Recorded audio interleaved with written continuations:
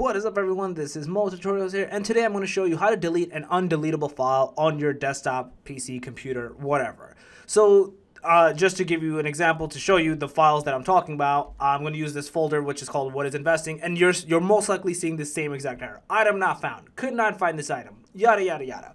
And a lot of times it's just weird. There's literally like nothing in them. It glitches, it bugs out. For some reason, they don't delete. I had a bunch of them on my desktop. It was annoying me.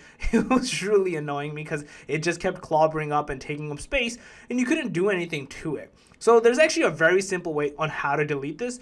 You may be wondering, like you've probably seen some other tutorials where you can just go to CMD, right slash SRD and then the location or something of the sort, and they may or may not work. I've tried a few of them, they sucked, man. I found a very simpler, easier way, and the only thing you need is WinRAR. It's free, you can easily download it. I'll leave a link in the description below. Do not pay for it. What you're gonna do is once you have it installed, you're gonna right click into that folder, you're going to do add to archive, because you're basically zipping or archiving this file putting it in a RAR format. Uh, the only thing you need to do in here is delete after file uh, delete files after archiving.